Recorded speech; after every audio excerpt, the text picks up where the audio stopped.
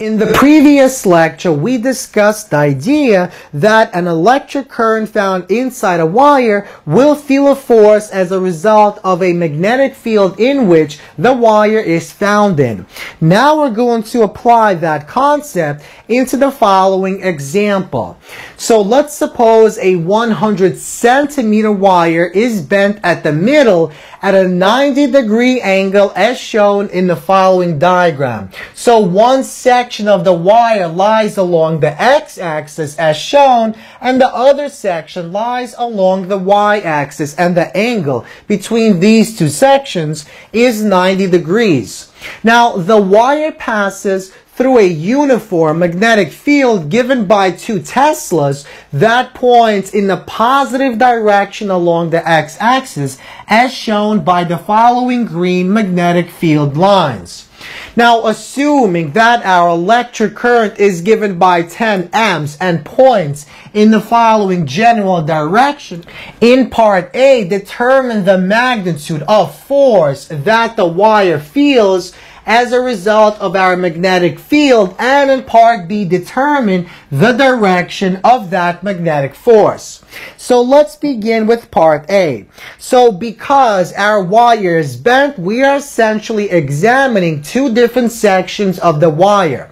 So we have the horizontal section of the wire as well as the vertical section of our wire. So let's begin with the horizontal section. Now, because the magnetic field is uniform and because the angle is constant with respect to our magnetic field, the angle remains the same throughout our length, we can use the following equation to calculate the magnitude of force that acts on our horizontal wire. So the magnitude of force is equal to the cross product of our magnetic field vector and our length vector multiplied by our electric current I. Now, by definition of the cross product, we know the cross product of any two vectors is equal to the product of the magnitude of those two vectors multiplied by the sine of the angle between those two vectors.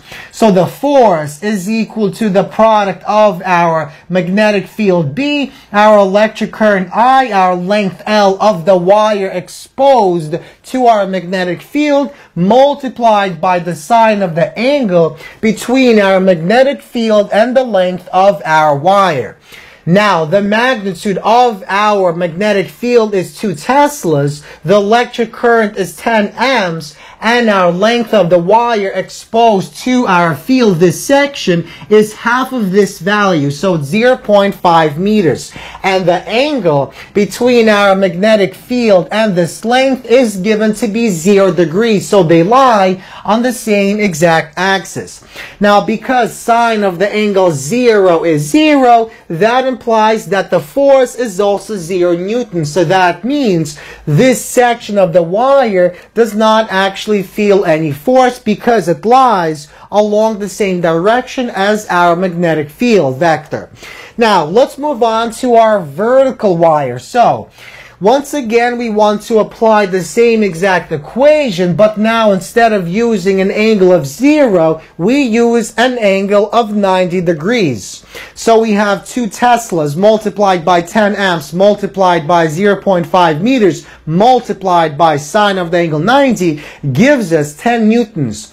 So the only section of the wire that actually feels a magnitude of force is this section here and the magnitude of force is given by 10 newtons.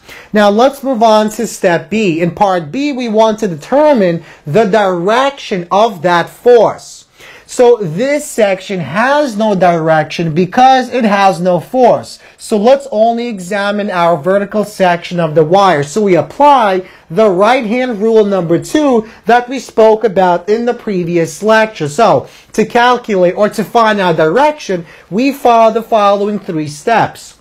So, Step one, we take our right hand and we point the fingers in the direction of our electric current. So we take the right hand and we point the fingers in the direction of our current. So we point it in the upper direction along the y-axis. Next, we curl our fingers, we bend our fingers in the direction of the magnetic field. The magnetic field points this way, so we take our hand and we bend the fingers in this direction. Finally, we extend the thumb and the thumb will point in the direction of our magnetic force.